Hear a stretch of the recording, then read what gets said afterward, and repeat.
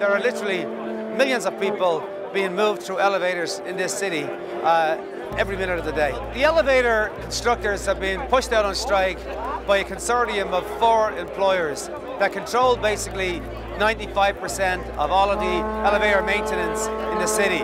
We're not asking for any more money. We're actually just asking to work under our same current contract that we've been working under for the last how many years and that our fathers before us and uh, mothers before us fought for. From my perspective, I believe it's uh, corporate greed. It's more about the companies wanting to make money than being concerned with the safety of the public or the workers that are there doing their job and putting their lives on the line every day to get this done. In 1972, my brother-in-law sat out, he picked it as well. He got me in the trade. My son got in the trade. My other son is in the trade. And it's a fantastic trade, and we're here supporting, uh, supporting what we believe in, and we feel we're doing the right thing. Now we're here today to send a message to the people that are on the top floors of these bank towers.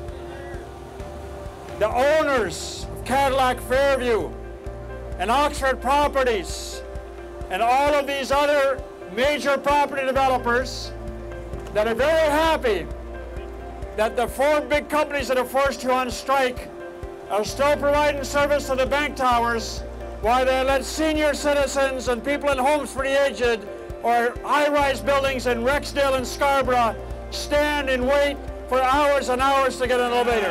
Right now, because these workers have been on strike for over one month, it means practically every elevator in this city is out of compliance from a health and safety standpoint. My biggest concern is public safety right now and the fact that we have to be out here to fight for the public because they don't have a voice for themselves. We offered to work during negotiations and uh, they refused. They said no, so that uh, they created a strike.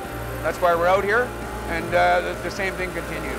We're the silent uh, army that takes care of the elevators in the city. I uh, do maintenance, I rush to trap passengers, and I just like to get back to work and do what it is I do.